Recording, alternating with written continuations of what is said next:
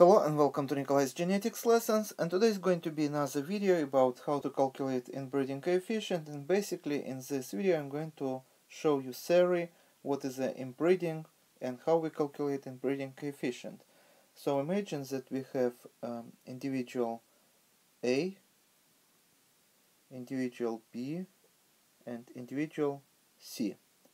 Individual A and B mate and would produce individual uh, D. And also individual B and C would mate and produce individual E. And then individual D and E would mate and would produce individual F. So now we have to find uh, how inbreed individual F. So the same line uh, diagram uh, we can represent as uh, another uh, variant of the pedigree.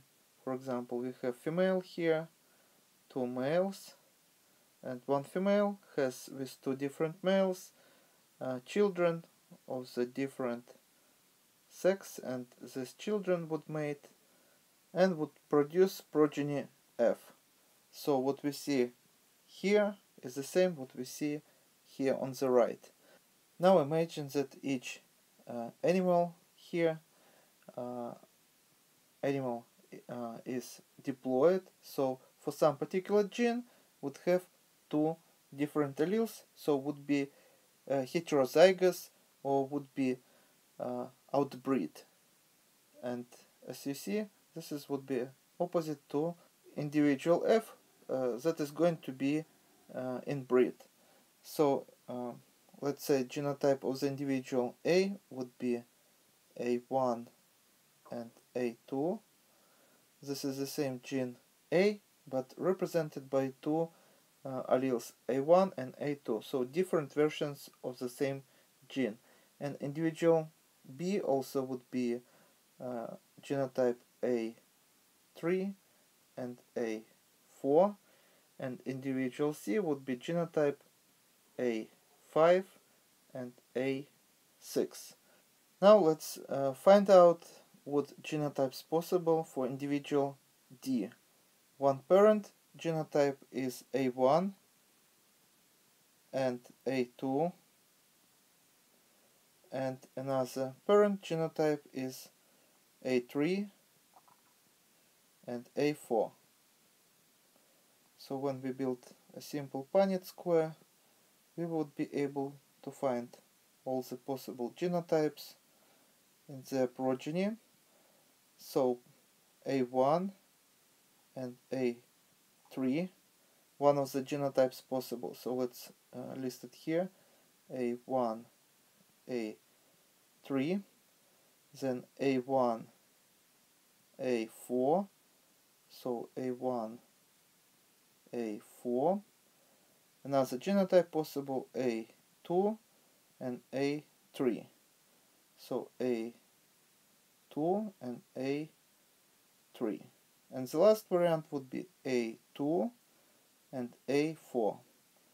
So A2 and A4. Now let's list all the possible genotypes for individual E. Individual E parents would be individual B and C individual B genotype A3 and A4 and individual A5 or individual C genotype would be A5 and A6.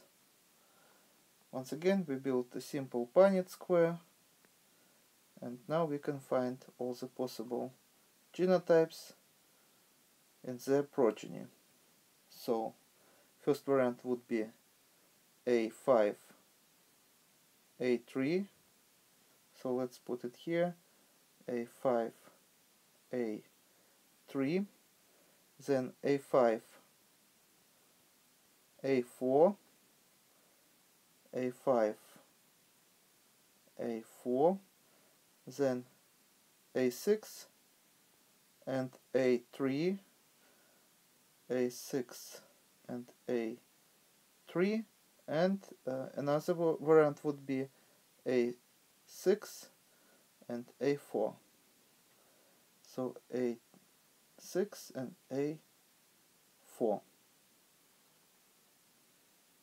Now let's find inbreeding coefficient. Last step would be uh, to find probability that individual F would have two same alleles that came from one parent and from the other parent and let's uh, consider is it can be a1 allele of course individual F can get a1 allele from one parent but see parent uh, E doesn't have this allele so individual F cannot be uh, homozygous for A1 allele.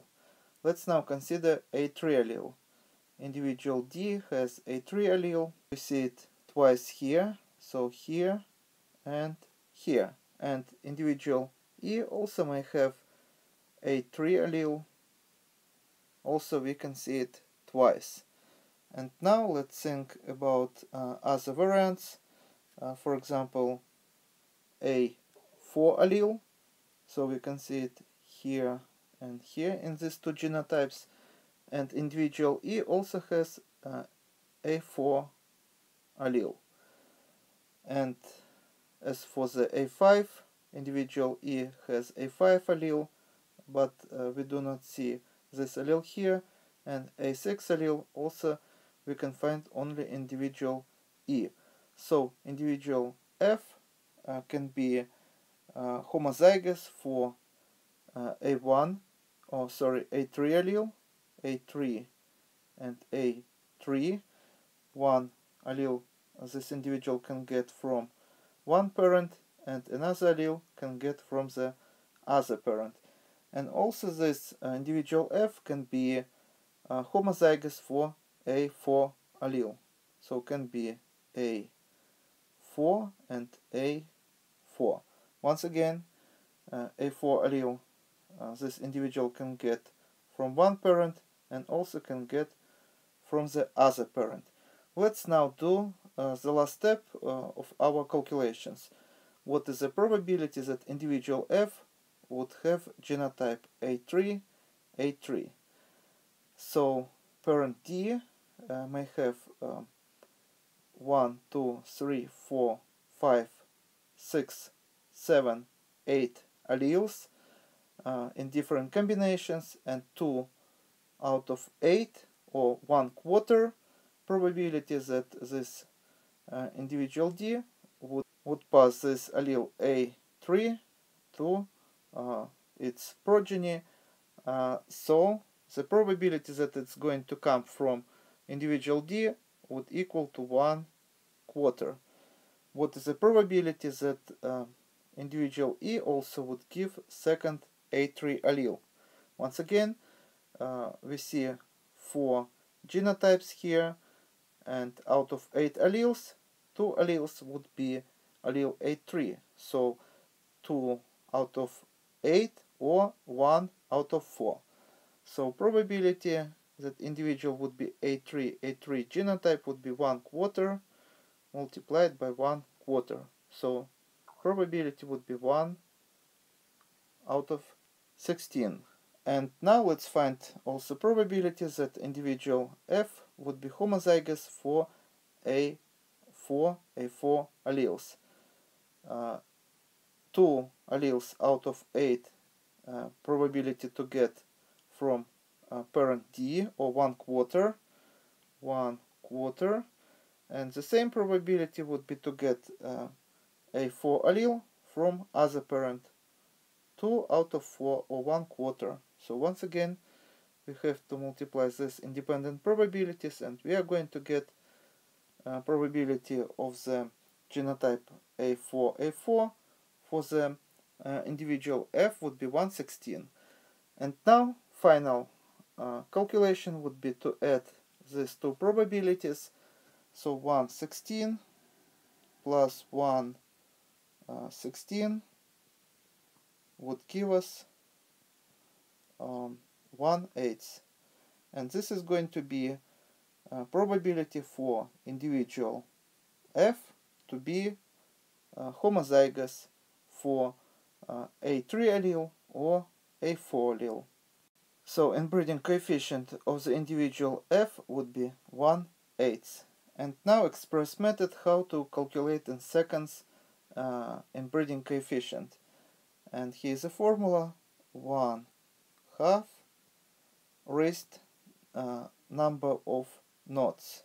So raised n and number of nodes here would be uh, 1, 2 and 3.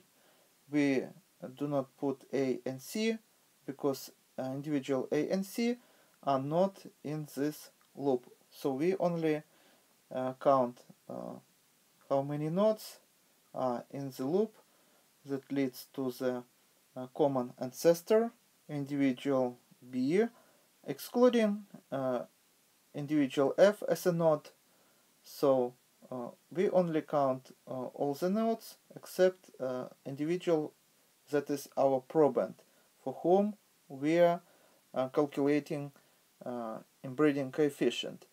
So according to what we see here, we have to multiply 1 half by itself 3 times or in a power of 3 we are going to get 1 eighth.